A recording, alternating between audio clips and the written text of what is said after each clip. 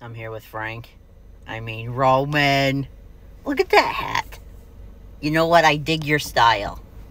I dig it, okay? So, uh, when I did uh, my last video um, on the trip uh, to the hospital, um, people told me they wanted more Roman stories. I do have, I'll tell you my favorite story about Roman. Um, I've told it probably several times before, but it's so funny.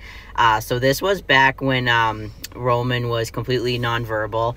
Um, I shouldn't say completely. He might like once a week say a word, you know, back then. Um, and so, so one day you got hat head. So uh, one day I was uh, eating breakfast and uh, Daddy, some TikTok is there. we will do effects, but I'm gonna tell this story first. I wonder if he's gonna remember when I tell the story.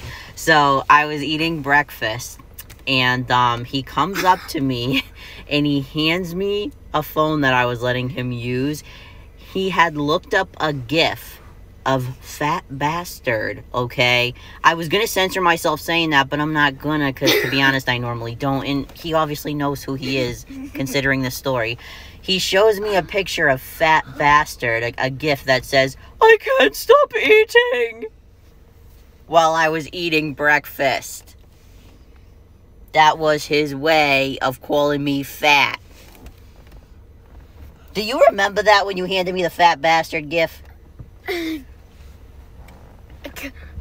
That that's uh, that's my favorite uh, story of him though because the fact that like he wasn't really able to speak a lot but he communicated through gifts to me to let me know hey you're fat as hell